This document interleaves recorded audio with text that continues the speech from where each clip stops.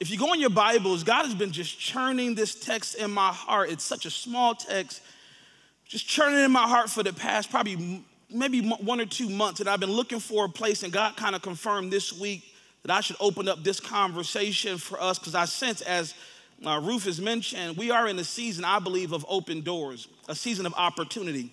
I want to help you though, because I think it's important to recognize there is a juxtaposition between um, that which God makes available and what is accessible, and that which you have the courage to chase down. And I don't want to get ahead of myself, but I think for our purpose, you know, I feel very called to open up a conversation with us. I, uh, some of you, in fact, I see my brother over here is wearing a Go Big sweatshirt. Several years ago, I preached a sermon series called Go Big, and one of the things that I think may have, I should have maybe added to the, maybe I did, I'm not sure how well I did it, to the conversation is in, in, in the framework of, of going big, there has to be an accurate assessment of what it costs to go big. And I'm gonna tell you something, you know, in my estimation, to, and I'll say about me, not about you. This is not y'all saved. I'm not saved enough. Here, let me say about me. Sometimes when it comes to what we are called to do, when we begin to analyze what it costs us to do what we're called to, sometimes we will sh- uh, uh, shy away from what God's made available because we're not willing to step into what God is pushing us into because it will exact from us more than we sometimes feel like we're prepared to give. And I have to eradicate that because I'm gonna say something. This is not to harm you, but to help you. Sometimes you're the one in your own way. We, we, love to, uh, we love to blame the devil and to blame the enemy and to blame imps and demons, and we like to blame so many, and not y'all, the 10 o'clock service, we, they blame so many people. And the truth is, the, the, the, truth is, a lot of times it's your imposter syndrome that gets in the way of you chasing down what God's made available. It's, it's your unwillingness to get into the mess and the mire that comes along with progress and success. It's you not wanting to deal with people or having to negotiate and compromise that can keep you from walking into what God has made available. Can I go even further? Sometimes you don't want to hear the right thing from the wrong person, and so you sometimes shy away because they didn't say it right. And God is saying, I put your blessing in their mouth. Yes, they did. They broke some verbs, didn't say it how you wanted them to say it, but are you willing to pay what it costs to have what I made available for you? Because nothing worth having is easy. Anything worth having is hard to get. Your spiritual development, you don't just sleep with your Bible next to your head and somehow you're gonna be deep in the things of God. I'm gonna go further. You can't just come to church on Sunday morning think you're gonna be deep in the things of God. You can't lean, and I don't mean this in any kind of like arrogant way, but you can't lean on my anointing that you're gonna have breakthrough. It costs you. It's complicated. And it's, it's to the extent that you're able to kind of navigate that intellectually that you find yourself being able to successively walk into the deeper places that God has for you. But I want to unpack that. Go to Proverbs 14, verse 4. Let me read this to you. I'm going to give you a statement, make a couple other thoughts in Genesis and in Joshua. Then I'll get to two of my four points. We'll stop right there. And then next week, I'll grab you with the next two points. Somebody say amen. Bible says in Proverbs 14, 4, where there are no oxen, the manger is empty. But from the strength of an ox, come abundant harvest. I'm say it again. Where there are no oxen, the manger is, some translations say clean, clean, empty. But from the strength of an ox come abundant harvest. Life is too short and possibilities are too abundant for us not to mobilize toward the full extent of what God has made available. Let that sit on you for a second. Life is too short and possibilities are too abundant for us not to mobilize toward the full extent of what God has made available. The availability of God's provision, listen, is not the end all be all. It's our ability to allocate our resources, times, ingenuity, to mobilize, to think deeply about what it costs to calculate how we, we should move and think and what we have to abandon and what we have to embrace. That is the full measure of us accessing what God has made available. God is never the problem. He's the God that completes the work before he starts it. He's a God that makes crooked paths straight, bring high places low, goes before us. Every time we see God move, He's already worked out the details. What it is is our ability to navigate how we respond to that. Not you, I'm talking, I'm talking about me. what it will cost us, what it will exact from us our threshold for pain, our, our ability to, to thrive in places that are messy and unformed and not developed. I love how we see the opening of the entirety of civilization. Scripture says, and then God stepped out and he spoke over a place that was formless and chaotic, and it was in the mess, in the mire, it was in the, the unformedness of, of, of, uh, of humanity, or not humanity, of, of the world, that he then begins to do his best work. And if we are created in his image, we have to have an expectation that we do not walk in the situations that are always put together. But oftentimes, the greatest yields in our lives come when we can step into the mess of life. Where it's not always together or worked out. Now, we can chase down what God has placed before us. Let me show you something. You go in your Bibles to Genesis chapter 1, verse 20. I don't want to show you this, and I'm, I'm, I'm going to rehearse it in Joshua chapter 1. And here's what it says And God blessed them and said to them, and God blessed them and said to them, and God blessed them and said to them, Be fruitful and increase in number. I love this right here. Fill the earth. If you have, if you write in your Bible, I would love for you to write in your Bible and just circle that word. Fill the earth.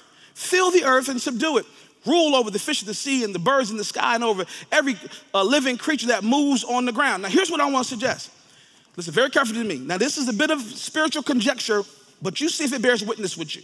The Bible says that God makes the heavens and the earth. Scripture says that He says this let us make man in our own image and our likeness.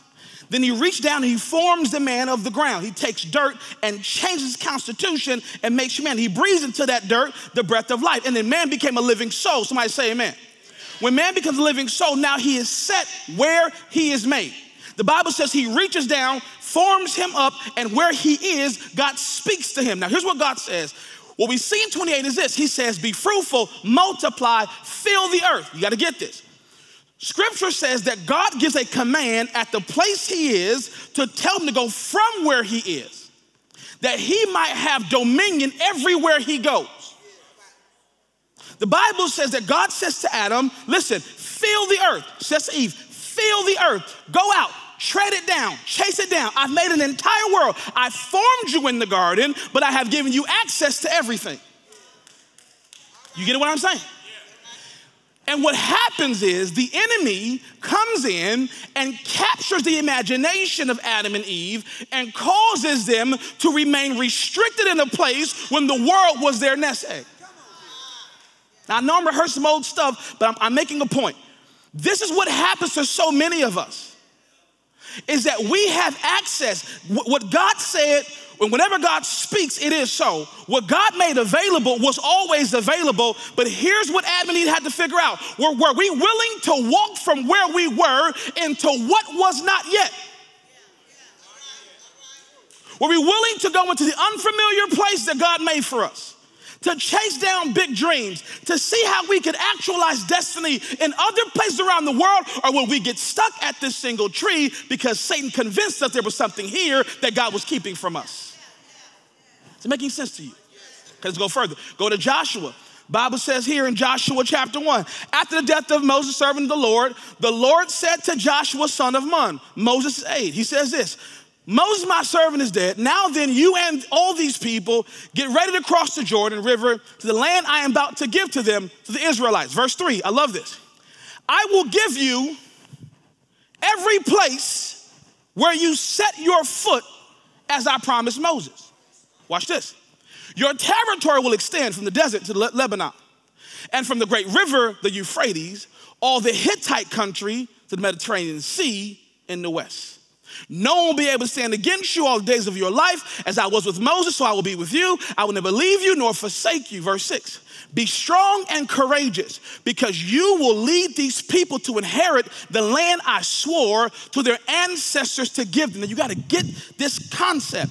The Bible says God is making very plain, I have already given you all this territory.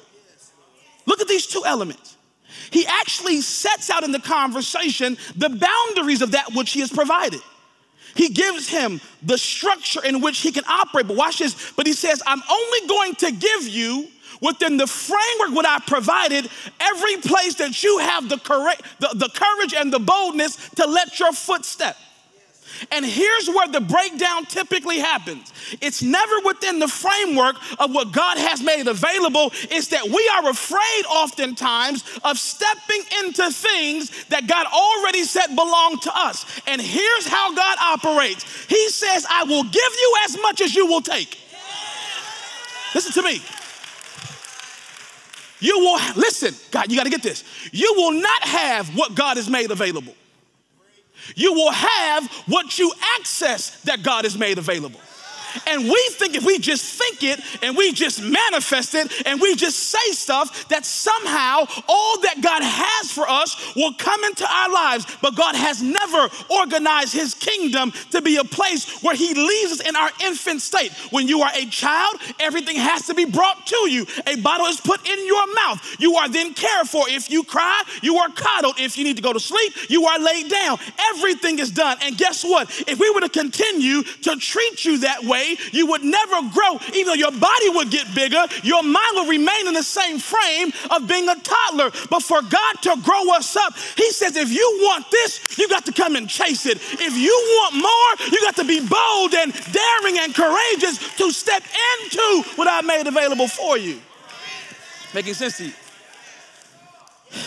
So, I said to say this. So, so, so, okay, why'd you read the Proverbs? I'm gonna tell you why. Because when it comes to this idea of what I have positioned relative to the power of God, the access of God, and what you ought to do, here's the question you need to write down the question that ought to haunt the next seven days of your life. I want this to keep you up at night. I want this question. I want you to be eating breakfast and lose your appetite when you think about this question. I, I, want this question. You, I want you to be at work and can't folks start daydreaming when you think about this question. Here's the question. so simple, it's profound. Pay attention. Here's the question. What do you want? Listen.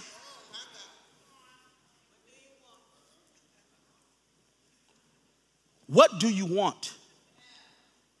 What do you want? What do you want.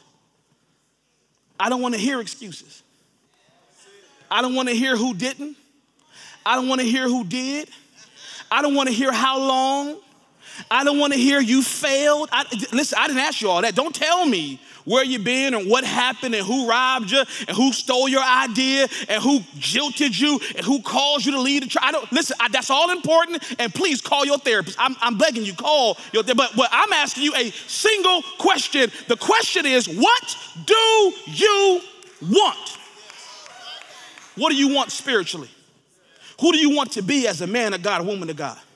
What do you want economically? What do you want to live? What place? What, how do you want to operate in culture? What do you want relationally? How do you want your family to be constructed? How do you want your friendships to? What do, don't tell me what the culture is doing. Don't tell me how the devil is moving. No, don't tell me how demons are acting. Don't tell me how you're afraid because I know you are. That's not the question I'm asking you. I'm asking you this simple question that ought to wake you up and put you behind the bed at night. What is it that you want?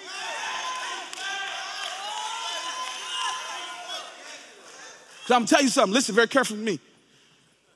Because nothing else matters. We like to make it spiritual and deep, and we like to pull all this. Listen, nothing else matters. Can I tell you, this is why the Spirit of God is trying to get a hold of your heart? Because, Jesus, help me, because He knows He can't even want it for you more than you want it for yourself. The Bible says it is not God's will that any should perish and yet a whole lot of folk going to hell. Because God can't even want heaven for you more than you want heaven for your what? What do you want? God just began to challenge me. Geremy, what do you, what do you want? I know, I, I and, and, you know how we do. We give God all these things. Well, what about this and this? What about that? And what this is going? God, but what do you want? You hear what I'm saying? All right, now I'm gonna give you these two points because it's already nine o'clock. I'm got you. I'm got your way. So, Bible says that when you have ox or oxen, or when you don't have them, the stable or the manger, the barn is clean, is empty. It says, but for those who want abundance, I'm paraphrasing, you're going to have to recognize that the presence of the oxen is what helps for you to perpetuate or actualize the abundance that you feel entitled to by virtue of God's word. When I think about this, what I want to suggest to you is that it all starts this idea of ambition. See, you set the parameters of growth by your willingness to embrace what it takes to come or cover more ground. What you have is oftentimes directly correlated to what you aim to accomplish. What do you want? No one else can want it for you, and it's not enough for people just to see it in you. Now, you got to get this. When you look at this, this illustration, it shows a farmer or a person that, listen, understands the importance of being able to raise up a greater harvest. But that person has a decision that he has to make. If he wants a greater harvest, he's going to have to lean into a process and or lean into a reality mentally that gets him that harvest. And so, with that being the case, the Bible says that that person has to ne- negotiate this idea that if I am to till the ground myself, there's only so much I can do, so much I'll have access to. There are limitations to my strength, limitations. I can get out there, I can dig up the ground, I can plant seeds, but the truth is, because I'm just one person with limitations, there's only so much I can get. Now, watch this. And my expectation of output has to be commensurate with that which I can place in. I cannot expect more if I don't have more to put in. You don't expect more out if you're not putting more in. And it's not that you're lazy, it's not that you're just fly by night, but the truth is that our strength is finite. There are limitations. Watch this. And so the farmer recognizes that he wants to have access to abundance. He wants to go further. He wants to bring in more, so he has to make a shift. And the shift he has to make is that he has to invite into the process external elements that certainly come with complexities, but ultimately, because of what he wants, he's willing to endure what it takes to get what he wants. Now, you got to get this. And so, for you and I, when it comes to us wanting to walk in a greater level of power and impact, a greater level of spiritual fortitude, a greater level of financial gain, or a greater level of walking in promise and possibility, we have to recognize that it calls us to do something different than we're doing right now. Hear me, family of God. Everything you are getting in your life right now is a reflection of the level in which you have operated at present. If you want something different, you have got to do something different. If you want more, you got to pour more in. If you want to harvest more, you've got to sow more. But the truth is, the ambition question has been problematic because we have taught people that having ambition is of the devil. We taught ambition is somehow arrogant, or ambition is hubris, or ambition is inherently selfish. But I'm here to eradicate that. You and I ought to have something on the inside inside of us that says, Lord, I thank you for where I am right now. I praise you for what you've done right now. But God, I heard that the old folks say you go from glory to glory and strength to, and so if you can do that, then I got a sneaky suspicion if I keep on pushing, I'm gonna get more out of based on what I put in. But family God, I need to take the governor off your life. Don't you for a minute be sheepish or timid about saying, God, I want more power. God, I want more strength. God, I want a greater anointing. God, I want to walk in a greater place of authority. God, I want to walk in rooms and see atmospheres shift because the glory of God that's resting on my life. God, I'm unashamed to say I'm ambitious in the things of God. I want more, and I'm going to do what I got to do to get the more that I'm expecting. I, I need to help you Because sometimes we have individuals in our lives and I look at them and I see them and I love them because I want so much for them. And I realize, Geremy, you can't want more for them. You can see the business in them, you can see the, the, the, the, game in them, you can see the strength in them. But it doesn't matter how much I see it in you if you don't see it in yourself. If there's not something in you that says, Lord, I'm grateful, I'm content by how you blessed me so far, but this can't be the end of your your glory in my life. I just got a sneaky suspicion that Jesus was right when he said, Greater works I would do. Is there anybody in the house that can testify? Thank you, Lord, for what you've done so far. But there's something turning on the inside of me that I just want. I want more.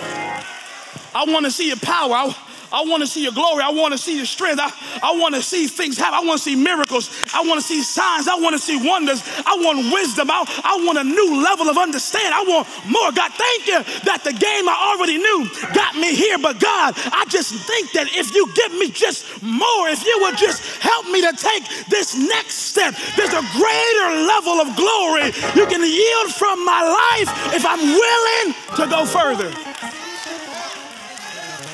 You, we need ambition.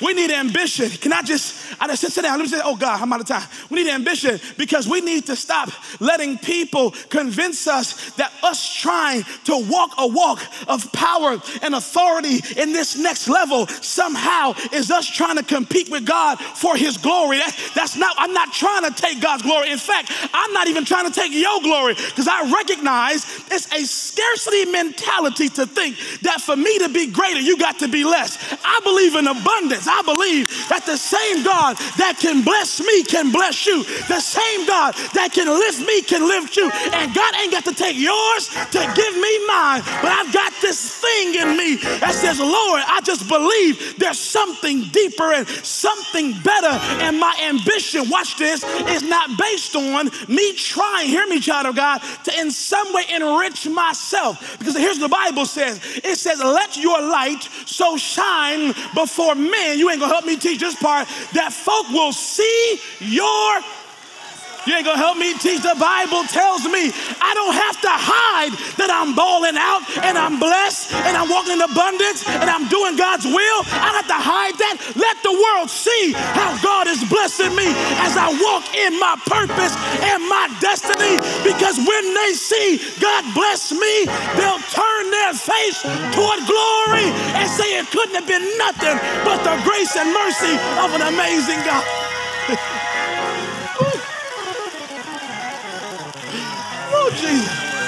I'm not competing for God with God for glory. I'm trying to get God more glory. I, am trying to do more that I might bring glory and honor to his name. I, I don't have time to talk about it. Y'all sit down. Let me just say this next part. So it's ambition. Ambition. Ambition ain't bad unless it's selfish ambition. If you're just trying to come up, if you're just trying to work the system for your own benefit, your own blessing, that's bad. But can I say this conversely? God, let me say it the right way. Equally as bad to trying to come up and work a system for your, for your self enrichment, equally as bad, is shying away and doing nothing because you lazy. They both serve you. There's some things that God is calling you into, but because you're afraid of the cost, or what it will exact from you to do what God has said, you have shied away from opportunity and possibility because you don't want to have to work that hard. It shouldn't take all that. And I'm gonna tell you something that's the same thing as being selfish and trying to do something to bless yourself. God is saying, I don't want nobody out there running and working to bless themselves. At the same time, if you sitting around doing nothing because you lazy, you are still not honoring my glory in your life. Difference between grieving the Spirit and quenching the Spirit.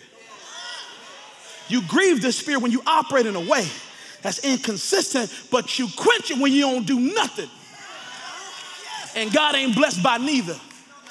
We need, listen, we need some sanctified ambition. Can I just say this? Get the blame game out your mouth. Stop playing the victim. Stop saying who didn't and who wouldn't and who couldn't and how would this. If we believe that if God be for us, who can be against? I got an army of heaven's angels standing behind me when I. It's ambition. Here's number two. I got four minutes to tell you about this. Here's number two. Number two actually is a, a byproduct of number one. It is complexity. It's com- complexity. See, when the farmer, listen to me, when the farmer operates independent, watch this, he only has himself to navigate. When the farmer operates independent, oh God, I missed some verses I'm supposed to give y'all. Can I give them to you really quickly on the first point? All right, here, two, two verses. I'm gonna tell you about because I can't, I got time to read them to you. Here, here's the first one. First one is Matthew 5, 6. Write it down. It says, Blessed are they who do hunger and thirst for righteousness. People who, who are ambitious for righteousness, ambitious for just ambitious. He said, those are the people that are gonna be filled. Listen what I'm saying. You hear God is saying, He's saying, look, why do you think I'm just gonna do it for you? I'm looking for people who want it. Blessed are those who hunger and thirst for it. I'm looking for them. All right, here's the second verse in that same point is Philippians 3. I don't have time to talk about Philippians 3 13. Bible says, Paul says, I forget those things that are behind me and I press. Why? Because I want it. Jesus, help me. God, I, that's why I press, because I want it. There's something more that I'm after, so I press. Here's a third one in verse in that same area is Mark 10 and 46. Mark 10 and 46 talks about the fact when, when you have uh, individuals, I, I, I, don't have time. Let me keep going. It's two minutes and a half. Two and a half minutes. All right, Mark, write down Mark 10, 46. It, there it is. I, I don't want to. I don't want to get into it. All right, here we go. All right. Okay, a little bit. Blind Bartimaeus. Remember him? Sitting by the side of the road. Jesus, I had. I, that's a whole sermon by itself. He sat there, and people told him to shut up. You're too loud. You want too much. You're too braggadocious. You out here making all this noise. And Brian Boy said, I don't care what none of y'all think about me. Jesus, thou son of David. I want it. I, am not ashamed to be ambitious. I need a. Okay. Okay. Here's the second one. Second one is complexity. The inclusion of other elements requires systems and coordination. The calculus requires greater deliberation. Here's what I mean. When a farmer, listen, when a farmer, I'm almost done. When a farmer is farming by himself, he has no one to coordinate with. He doesn't have to worry about timing and temperament, and, but the minute you include anything else, it becomes complex. Because now you're having to factor in a multitude of variables to get them to work collectively or collaboratively to bring about that what you want right? So you got you got a, um you got an ox. The ox has a different temperament.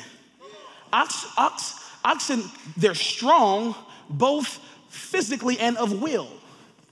And you have to domesticate and you have to understand the times and the seasons understand the way in which you are to drive and ox you can't just do it when you want to you may want to get up at 2 a.m. in the morning do it, but when you got someone else working with you, you have to factor in their calendars and their time. And so it becomes complex. Can I say this to you? And sometimes the reason that we don't walk in abundance is because we shy away from complexity.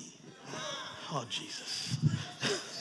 Let me say let me say it this way. We have to stop being satisfied with easy answers and easy systems. Listen, complexity is only the reality, listen, of the unfamiliar. I'm saying it again.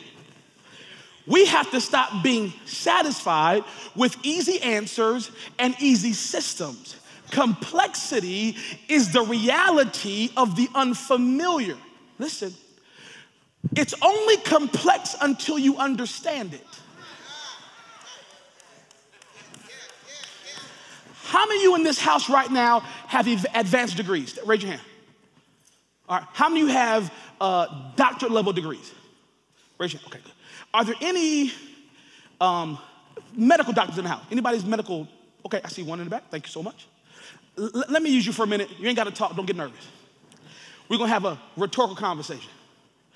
When you were in seventh grade, if someone were to come, and I think I know you, that Sister Kimball in the back?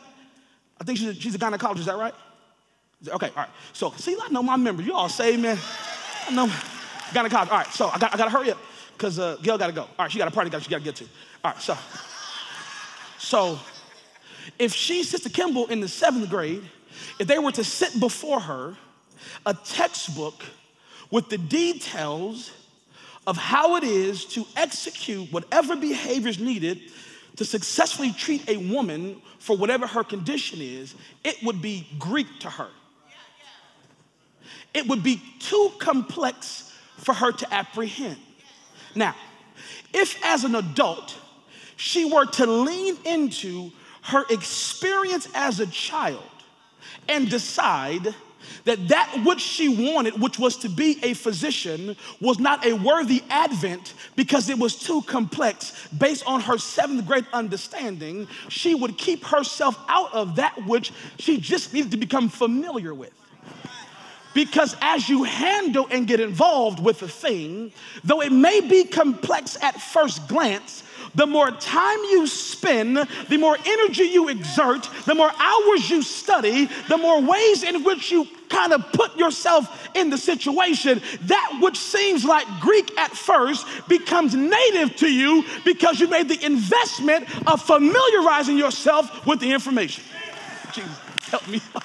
and here's what's happened to so I'm listen, I'm preaching some fussing today. I'm sorry, y'all. I love y'all, but God's talking to us. What God is saying to many of us right now is that we are in a season and a stage where we are assessing the complexity of a circumstance to do ministry or life or business or relationship or spirituality at a higher level. And because it seems too complex, we are walking away from what God is trying to push us into. But, family of God, it's not too complex, it's at present just unfamiliar. And if you will spend the time, uh, um, and allowing yourself to dig in to the information, you will find that that which was hard at first will become second nature to you. And what God is saying is there are seasons and times when God is trying to shift you, but you're saying to yourself, it's too hard, it's too difficult. But God is saying, but what do you want? You said you wanted to go higher. You said you wanted to be blessed. You said you wanted to be a blessing. And guess what? If you want the things that you said,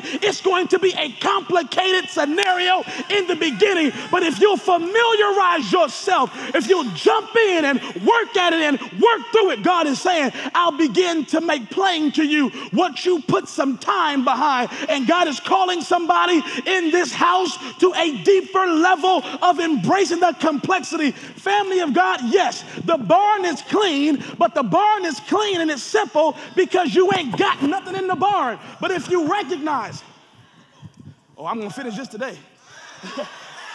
but if you recognize that sometimes the complexity of having to deal with a multitude of issues will bring a greater level of outcome, abundance, and yield, you need to do what your mama said. Get your behind in that room and study those books and stay there till it makes sense to you. Stop quitting on yourself. Preach, Pastor Geremy. Stop quitting on yourself. Stop abandoning and aborting shit. Stop walking away because it got hard. God is saying anything that you're going to do that's going to have consequence is going to be hard. So fortify yourself.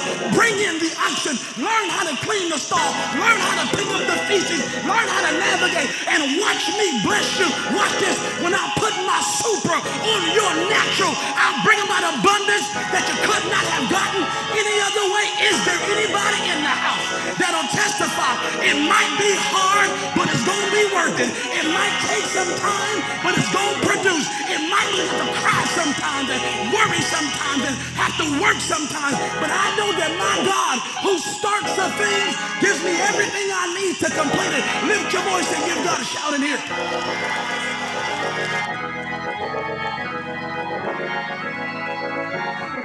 We're gonna read. In fact, stand to your feet. I'm gonna end with this. Two verses I want you to understand. Put Matthew 9 on the screen. Matthew 9. Jesus went to the towns and villages teaching the synagogue, claiming the good news of the kingdom and healing of every disease and sickness. We saw the crowds, he had compassion on them. They were harassed and helpless like sheep without a shepherd. He said his disciples, the harvest is plentiful. There, there is, there is, there's a lot. There's a lot to do. Labors are few. Watch this. Ask Lord the harvest, therefore, to send out workers to this harvest field. What's he saying? See, we've been trying to do things by ourselves. Jesus, the Christ, even said, I need help. And Elder Love, here's the problem. My dad told me a long time ago. He says, the minute you get more than one person in the room, you're going to have conflict. And sometimes we shy away from the conflict. When what we know is on the other side of being able to navigate different personality types and ways people think and how they talk, whatever, if we can get through all of that, if we can handle the complexity of having to negotiate, multiply elements, and sometimes converging and competing ideas, and having to balance and measure staffs and teams, and when, you can get into that, having to think about different business lines and LOCs and having to deal with different ways in which you accumulate information spiritually, when you can get to that place of having to read the hard text, you can't keep just reading Jesus wept and then you're gonna grow spiritually. You got to read the hard ones you don't understand, and then open up a commentary, and then call a friend, and then get some books to help you. Why? Because it's the complexity that builds something in you. Jesus said, Bring in some more people. It's gonna get complex. That's okay. Harvest is plentiful. Here's the next one I want to show you. It's actually found in Matthew 14. The quick story is this they had been with Christ, he had been teaching, the day had, had gone late. And the Bible says disciples went to him and said, Look, send them away Send them away. Thousands of people. They can go find food. And Christ says, No, let's make it complex. You feed them. The easy answer is sending them away.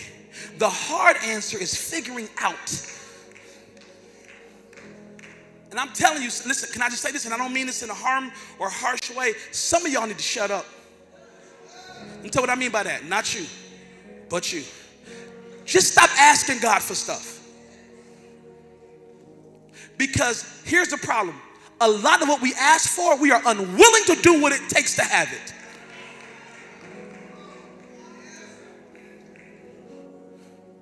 I want to impact the world. God said, okay, build a team. I don't deal with those people. Okay, then be quiet.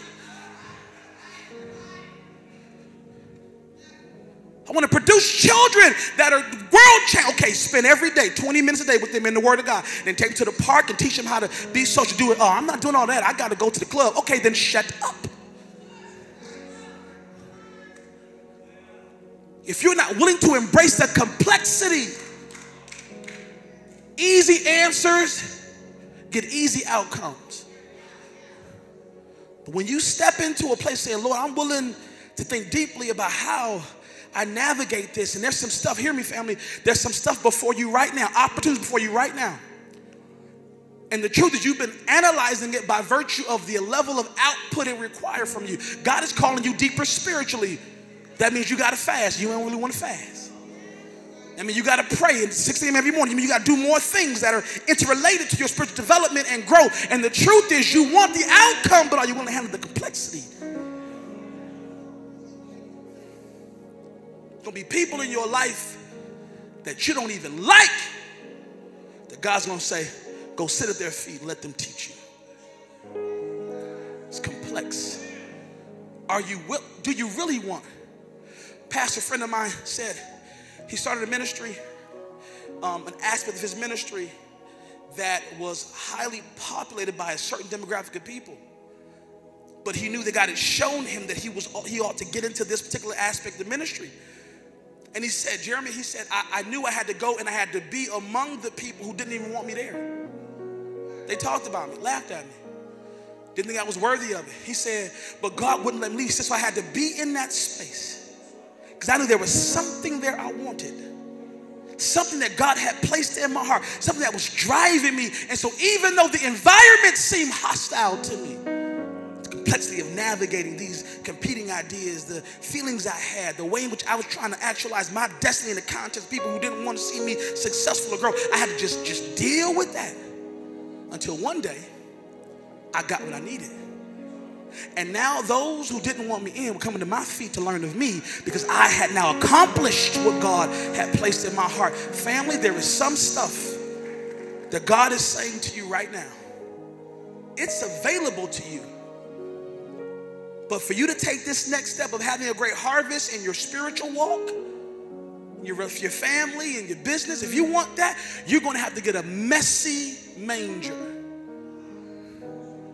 You got to invite the oxen in. Oxen, it ain't fun. They dirty. They defecate all the time. It ain't small. You didn't see, you've been driving up, you know, Apple Valley, whatever, you know, you didn't see it. You didn't smelt it. Is that a word? Smelt? Right, you know what I'm talking about. Yet the Spirit of God is saying that if you listen, if you want to clean, if you just want a simple, easy, pristine life, there's no issues, no mess, no drama, whatever, fine. But I promise you this the output is going to be small. If you're, if you're okay with that, then God bless you. But if there's something in you that wants more, willing to embrace and be bold about your ambition and what it takes, and then to, to walk into complexity with the peace that God can give you what you need to accomplish what He's called you to. God said, that's, that's where the magic happens.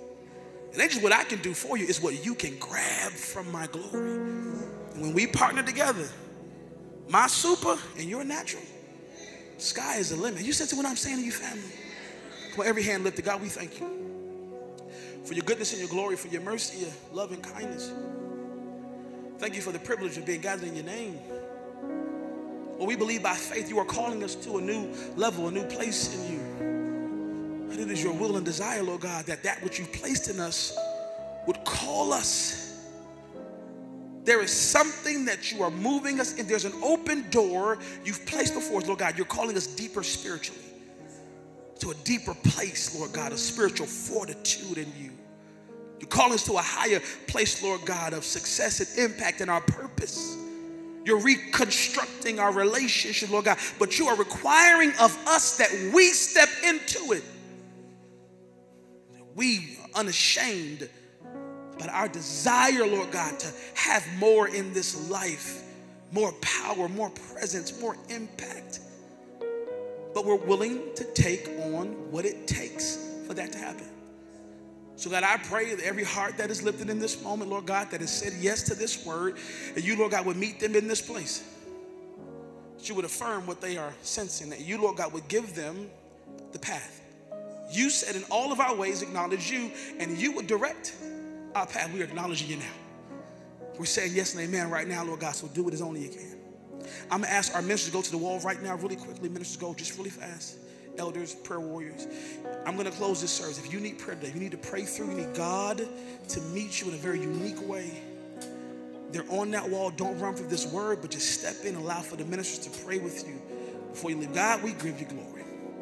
And now may the grace of God and the sweet communion of the Holy Spirit rest from about us now, henceforth, and forevermore. And every glad heart with a big voice said, Amen. God bless you. I love you. Have a great